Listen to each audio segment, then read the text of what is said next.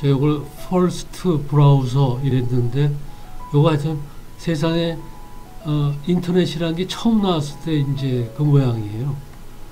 이제 이런 얘기를 하는 이유는 이번에 이제 89번째 Arduino NMR 프로젝트인데 요 BeagleBone Black을 전번에 연결을 했죠. PC에다. 그러니까 전원 전원도 켜 있는 거고. 그러니까 계속 해야 돼요 그러다 보니까 결국은 25년 전으로 돌아가서 쭉 지금까지 다시 와야 되더라고요 그렇게 오래는 안 걸려요 그래서 25년 전 당시에 첫 번째 인터넷 모양이 요래 생겼거든요. 뭐 넷스케이프라고 그러는데 당시에 저도 이게 이런 거 나왔을 때 1994년 어, 관심을 못 가졌던 것 같아요. 그래서 여기 좀 써놓고 할게요. Netscape 요 네트하고 어떻게 이런지 붙이는지 잘 모르겠네요. 뭐, 그 당시에도 안 썼고 지금도 안 쓰니까. 근데 이게 제일 처음에 나온 인터넷이라니까 여기서부터 시작을 해야 우리 비글본도 그렇게 그렇게 그렇게 해서 이렇게 한다 하는 얘기가 되는 거예요. 그래서 그 당시 25년 전에 요 넷스케이프라는 거 인터넷을 이렇게 보니까 요 마크는 이렇게 돼 있죠. escape란 마크가 다음에 이런 버튼 누르는 단추도 있을 거고 이것들도 다 누르는 단추 같은데. 또 이런 메인 페이지란 타이틀 타이틀도 있고 그거에 해당하는 본문도 있을 거고. 이러한 그런 걸 이제 우리가 구성 요소 element라고 부르죠. 요 document에. element 요 element 그러니까 인터넷 페이지 처음 만든 거에 요 구성 요소들을 어떻게 처리했나 그런 것부터 시작을 해야 지금 BeagleBone까지 오는 것 같아요. 꼭 BeagleBone이 그런 게 아니고 BeagleBone이 쓰는 소프트웨어가 그렇다는 얘기죠.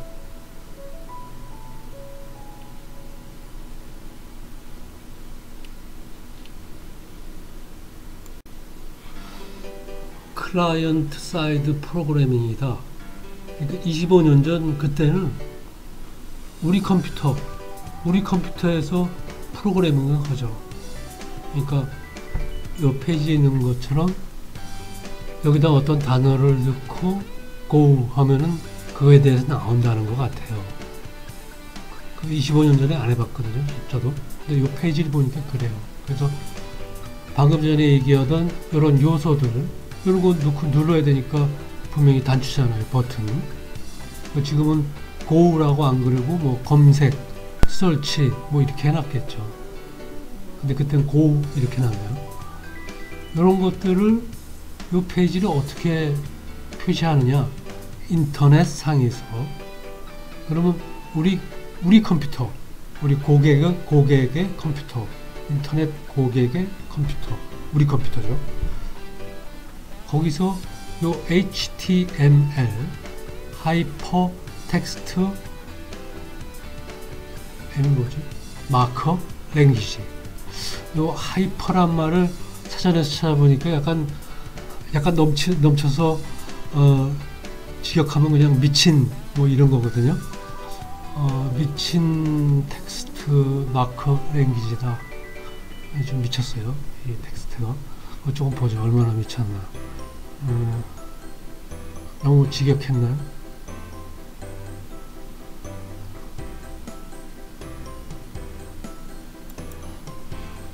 제가 눈이 조금 아직도 회복이 덜 돼서 자판이 잘 안 보이기 때문에 안경을 끼지는 못하거든요. 그래서 어, 좀 타이핑을 미리 해서 어, C에다가 하나 만들어 놨어요.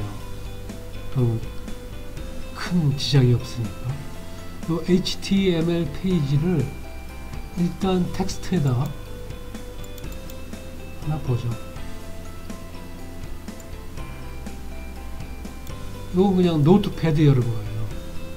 Notepad에다 그냥 이렇게 HTML 시작, HTML 끝, 끝은 꼭 이렇게 짝대기 하나 긋죠. 그러고 나서는 이제 그 안에 head 시작, 제목, body 시작, 본문,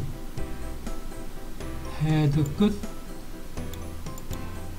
짝대기 하나 긋죠. body는 그 안에 뭘 썼으니까 밑에 쪽에 body 끝.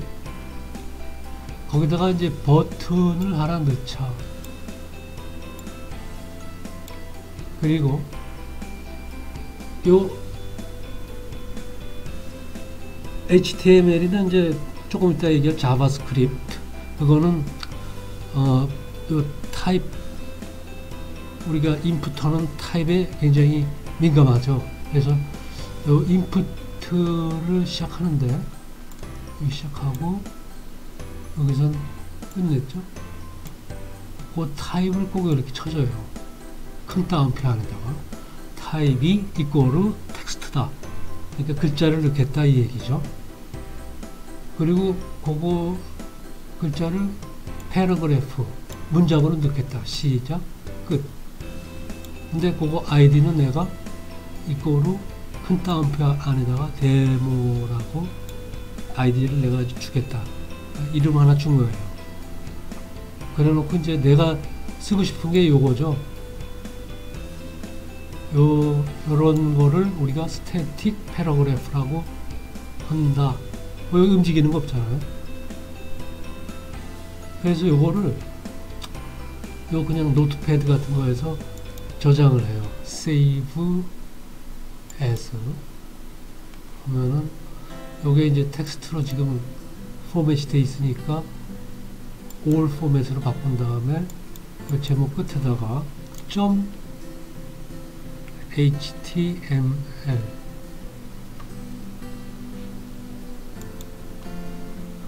타이핑이 잘 안돼서 점 html 이렇게 세이브를 하는 거죠.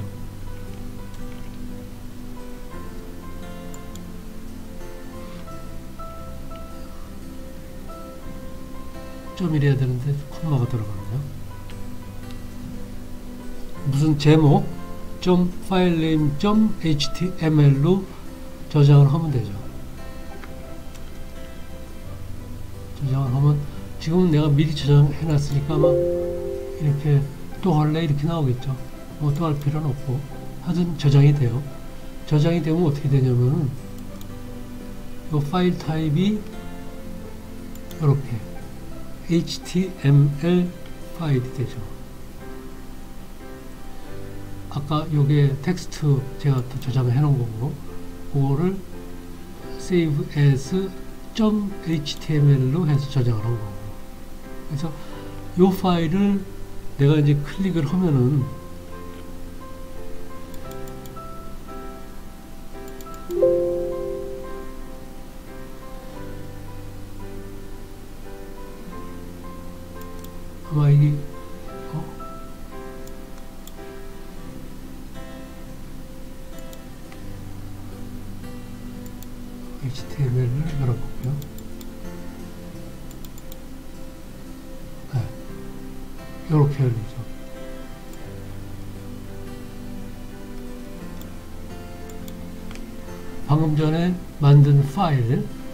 텍스트 파일이죠.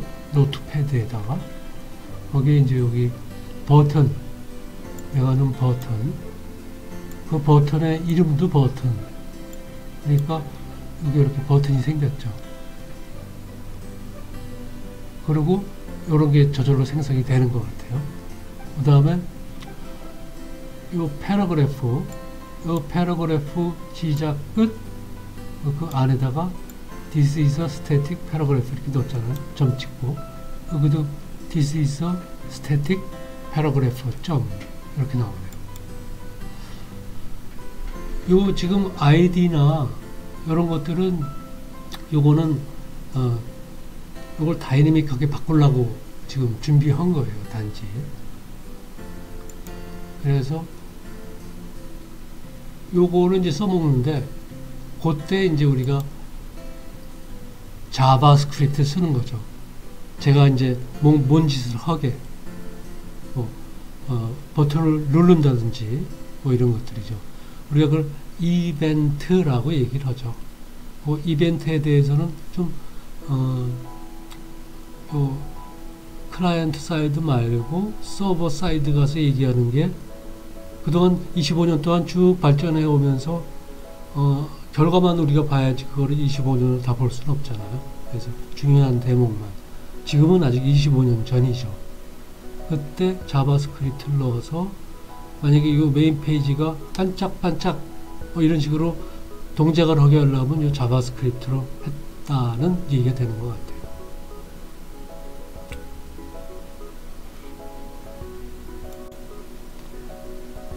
그 25년 전에 이 JavaScript를 써서 요 element, 요 document의 element에다가 어떤 동적인 요소, 다이내믹하게 했다 하는 거를 좀 초보적인 걸 한번 좀 보죠. 다시 제가 준비한 노트패드에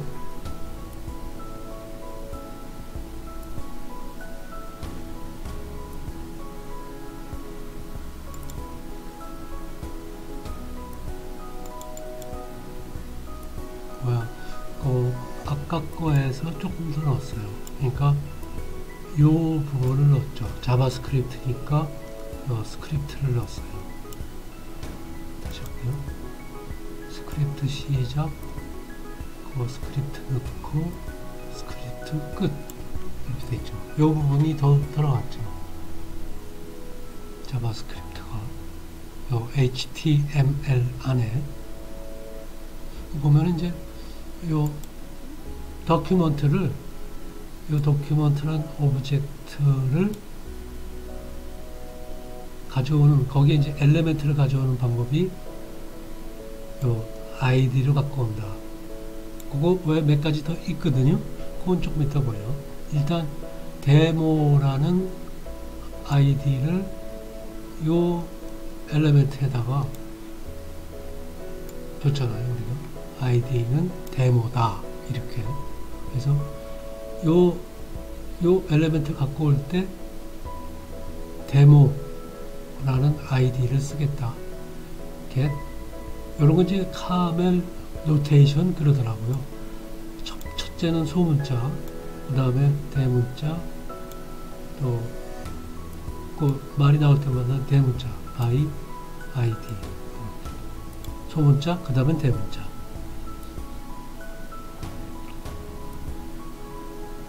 그리고 이제 요 경우엔 이제 inner HTML 요 HTML 안에 요렇게 큰 따옴표 안에다가 요 글자를 넣고 싶다.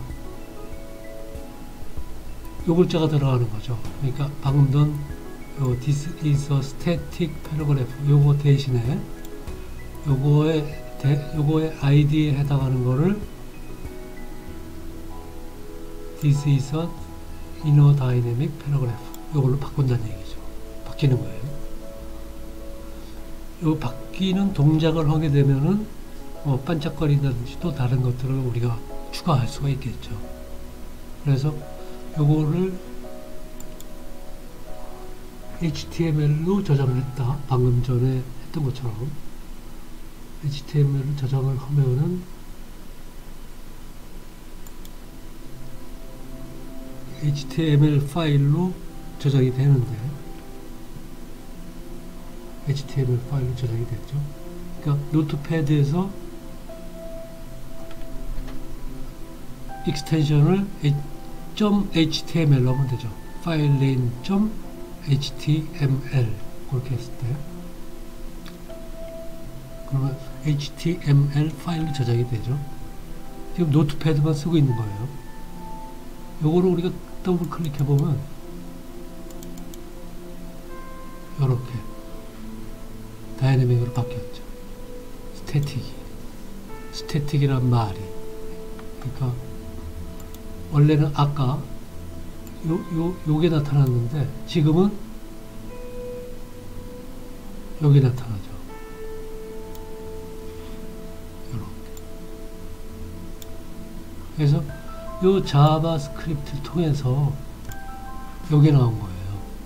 그러니까 바뀌었으면은 바뀐 거 말고 반짝인다 이런 거 그런 동작은 또 그대로 다른 형식으로 우리가 지정을 하면 되겠죠. 그런 것들을 이제 요 HTML을 만든 사람들이 해놓은 틀에다가 요 자바스크립트를 우리가 넣어서 하는 거죠.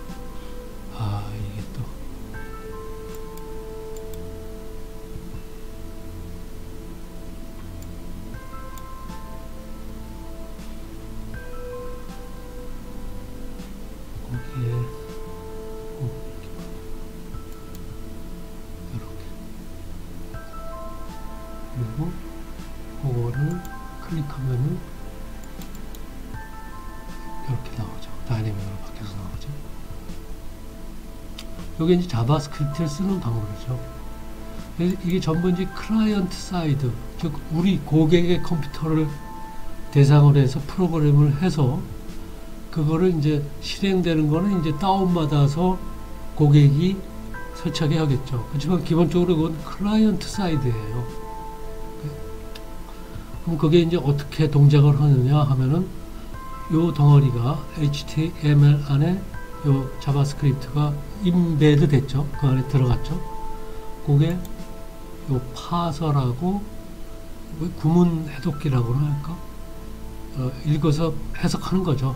이런 놈이 요, 홈, 요 인터넷 웹페이지 안에 있어서 걔가 요 덩어리를 읽어서 이렇게 만들어 주는 거죠. 우리 방금 전에 HTML 파일이 만든 걸 봤듯이. 요거를 inner HTML이 아니고 outer HTML, 그러니까 HTML 밖에다가 하는 거를 까지만 하죠.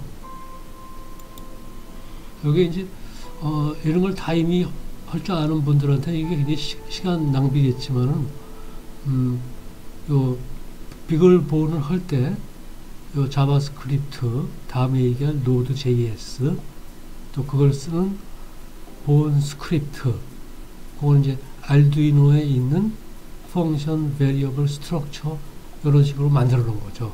BeagleBone에서 그런 것까지 다룰 때는 여기 이제 한번 그냥 복습하는 셈 치죠. 이번에 outer 이걸 한번 보죠.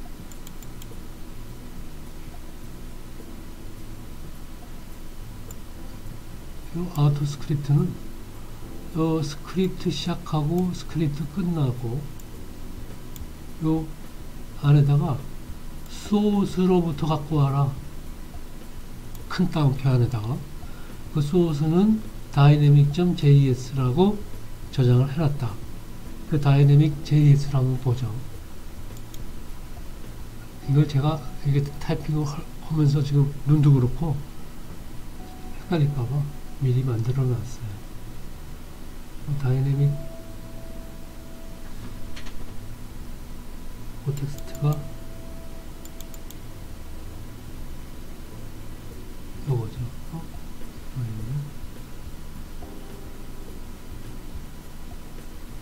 어, 요거 지금 방금 해놓고 거고. 아, 요거네. 그 자바스크립트로 extension을 저장하기 전에 요 내용이죠. 요 내용이 요거를 save as 여기 있는 것처럼 .js 이런 거 글자를 크게 하는 건 어떻게 하나 잘 모르겠네요. 요 여기다가 .js로 이렇게 저장을 하면은 어떻게 되냐면 지금 여기서는 또 하면 안 되죠.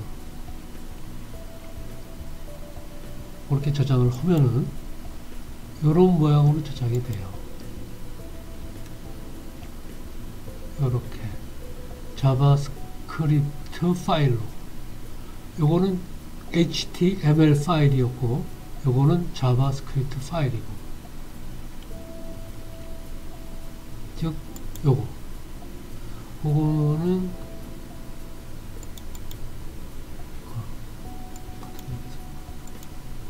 타이핑 해놔도 헷갈리네. 우리가 만들던 HTML 파일에 지금 요 스크립트 안에 요게 들어가 있는 거예요. 요게 여기 있던 건데 잘라내 가지고 요거는 자바 스크립트 파일로 저장을 한 거죠. 그러니까 요게 원래 요 안에 있던 거예요. 그 대신 요걸 잘라내고 요 부분을 넣은 거죠. 소스를 요 dynamic.js라는 거로 쓰겠다. 요거를 요 파일을 요 자바스크립트 파일을 소스로 쓰겠다. 그러니까 지금 그 내용이 우리가 나타내고자 하는 this is a 어, 인어로 돼 있네요. 어, 이걸 좀 열어봐야 되겠네요. 잘못한 것 같은데. 네. 아무튼 요, 요, 요 안에 있는 내용으로 다시 대신 갖고 오겠다. 그 얘기죠. 그래서 요 HTML 파일 저장해 놓은 걸 열어보면은 이렇게 바뀌죠. outer dynamic. 어, 요거는 제가 잘못 저장한 것 같아요. 어, outer로 해야 그래야 요거랑 같죠. 요건 텍스트니까 그냥 save하면 되니까 이렇게 하면 저, 저도 고치게 되죠. 아우터 아우터 HTML의 바깥쪽 즉 여기에 이렇게 자바스크립트 파일로 저장을 한다. 그게 여기로 들어온다는 얘기죠. 그 파일 내용은 이렇고 그거는 원래 여기서 요 스크립트 안에 얘가 있던 건데 그 대신에 그거를 자 요거를 자바스크립트 점 자, 자바스크립트 JS로 저장을 하고 그거를 여기서 소스로 삼겠다고 표시하는 거죠. 언제나 큰 따옴표를 썼어요. 지금 계속해서.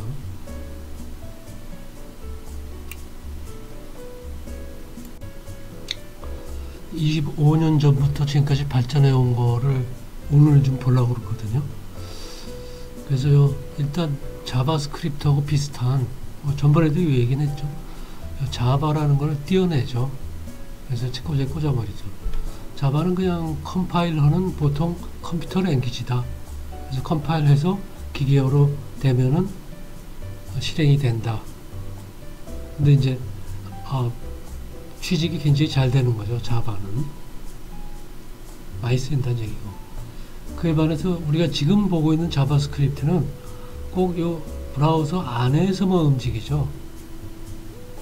브라우저 안에서만 HTML 문서를 통해서만 이 document를 작성할 수가 있죠. 그래서 그거를 조금 방금 전에 봤던 거 복습을 조금만 하면은 요 docu- document라는 object object를 자바스크립트가 갖고 올 때 요 아이디에 의해서 방금 전에 데모 뭐 그런 아이디를 주고 그 아이디가 있는 거에서 갖고 왔잖아요. 그 외에 또 이제 tag name으로 갖고 오는 게 있죠. 뭐 이런 걸 우리가 태그라고 그러죠. HTML 시작 끝, head 시작 끝, body 시작 끝 이런 걸 태그라고 그러죠. 그 태그의 이름에 의해서 갖고 오는 게 있고 그 다음에 클래스에서 가져오는 것도 있고 아, 클래스 얘기는 지금 하면 안 될 것 같아요. 시간이 너무 많이 가기 때문에. 그래서 보니까 우리 요 얼마 전에 그 OS operating system 리눅스였죠. 라스베리에서 거기서 이제 scripting 하는 걸 좀 했었죠. shebang 하는 거. 그거하고 마찬가지로 자바도 이제 scripting을 하는데 뭐 이런 게 다 scripting이죠. 그래서 요 HTML 안에서 자바 scripting을 한다 하는 게 지금까지 한 얘기였죠. 아주 초보적인 거는 이해를 받고 그거를 요 양반이 좀 재미난 짓을 했어요. 아주 뭐 genius하게 그 Node JS란 거죠. 전번에도 잠시 또 얘기했었죠. 근데 요거를 요거 이제 웹에서는 방금 전에 얘기하던 client side가 아니고 server side를 끌고 오죠. JavaScript를 Node JS로 만들어서. 근데 자바스크립트하고 노드 JS는 신기한 관계죠. 하나는 언어고 하나는 그게 돌아가는 runtime 환경이고. 우리는 고러저러한 걸 다 이용해서 physical computing을 하겠다. 어, 쉽게 다른 말로 하면 사물 인터넷을 하겠다는 얘기죠. 근데 그 사물 인터넷도 조금 이상한 NMR로 그러니까 그 사물 인터넷의 센서는 NMR 센서죠. 어, 저번에 얘기한 것처럼 요 인터넷이 발전하다 보니까 지금같이 뭐 유튜브 여러 번 굉장히 웹 애플리케이션이 발전한 거잖아요. 요것도 이제 조금 볼, 이따 볼 텐데. 요게 발전하면서 요 크롬이 엔진을 썼어요. 이런 일, 저런 일, 그런 일 다 합쳐가지고 처리해 주다 보니까 그게 이제 우리가 엔진이라고 부르죠. 그래서 요 버전 6까지는 이제 그게 게임의 엔진으로도 쓰였다. 게임 개발할 때, 또 게임이 돌아갈 때. 아, 근데 이제 이게 이제 버전 8이 됐어요.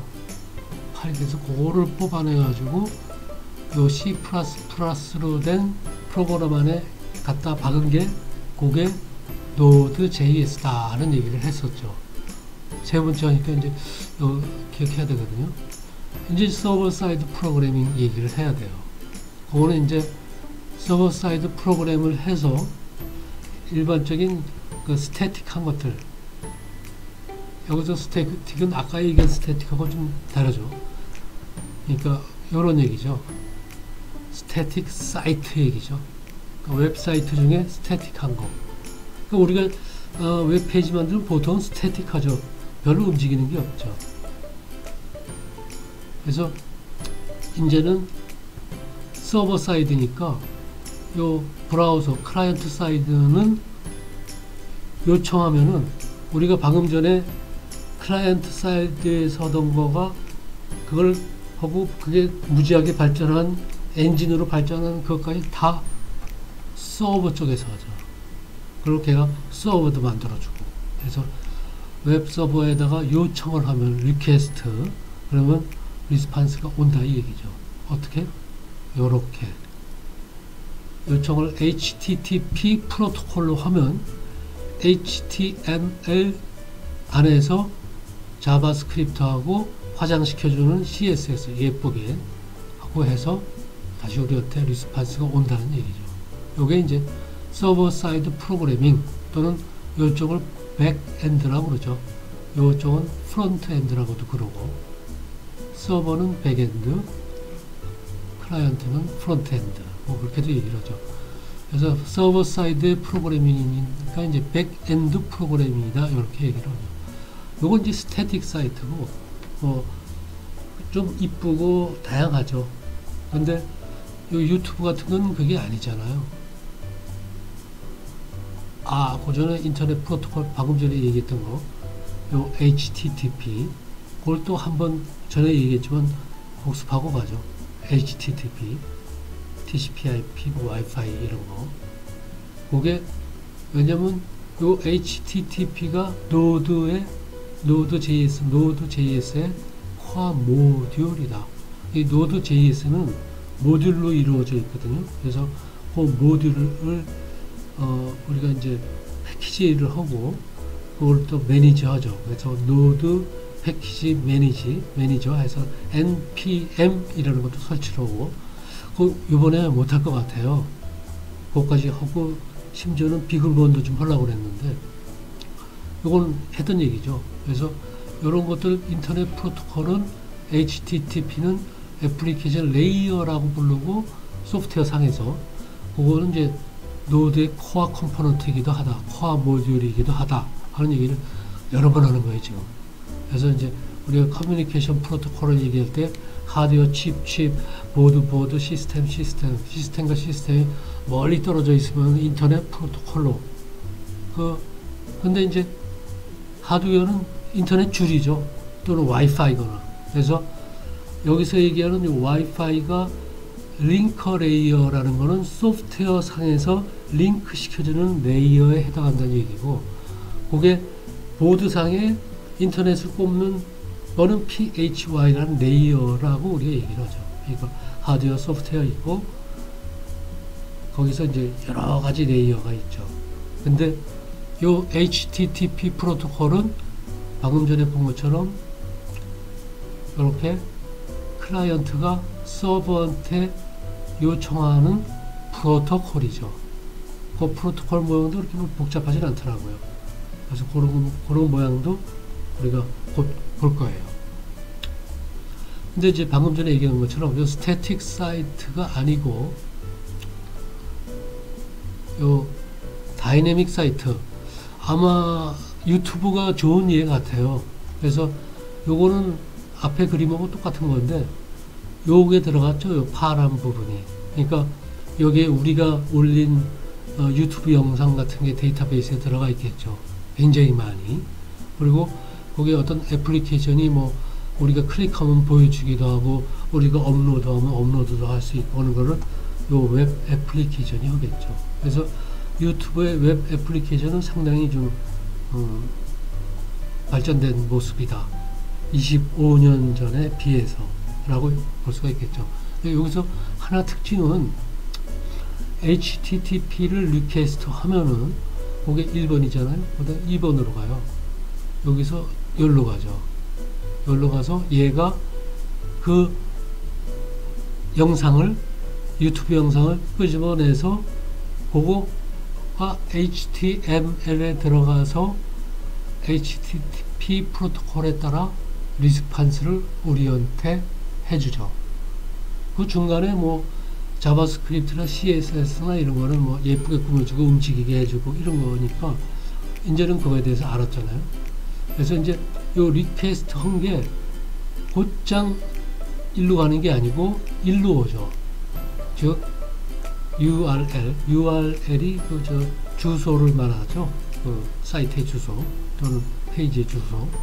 그 URL encoding 쪽으로 가고 뭐 쿠키란 말도 뭐 많이 나오더라고요. 그 다음에 get post 데이터. 그러니까 얘가 그 유튜브 영상들을 가져와서 보내주기도 하고 요 get post 잘 요건 조금 이따가 좀 얘기를 하죠. 제 생각에 요 쿠키라는 걸 잘 모으면은 아마 상당히 유용한 실질적인 빅데이터가 될 것 같아요. 그러니까 유튜브사에서 구 글이죠 유튜브도 아마 구글사에서 이 쿠키들을 모으면은 상당히 유용한 빅데이터가 되겠죠. 굉장히 많이 여기 들어올 테니까. 지금 요 알두이노 라스베리 하고 그 다음에 요 비, 비글본을 하겠다 그러면서 비글본 얘기를 좀 하려고 그랬는데 어, 시간이 좀 너무 많이 지난 것 같아요. 이거 새해 첫날부터 또 너무 길게 하는 거는 아닌 것 같아요. 휴일이고 하니까. 그래서, 아, 그거는 아쉽지만 좀 생략하고, 그 뒤에 얘기들은 늘 하던 얘기들이니까, 그것도 생략하고, 마무리를 짓게요. 아, 새해 복 많이 받으시고, 역시 구독, 새해에는 구독 좀 많이 해주세요. 제가 조금 더 깔끔하게 할게요. 오늘도 깔끔하진 않았어요. 근데, 어, 그런 거 포함해서 뭐든지 좋으니까 의견 좀 부탁드릴게요. 네, 감사합니다.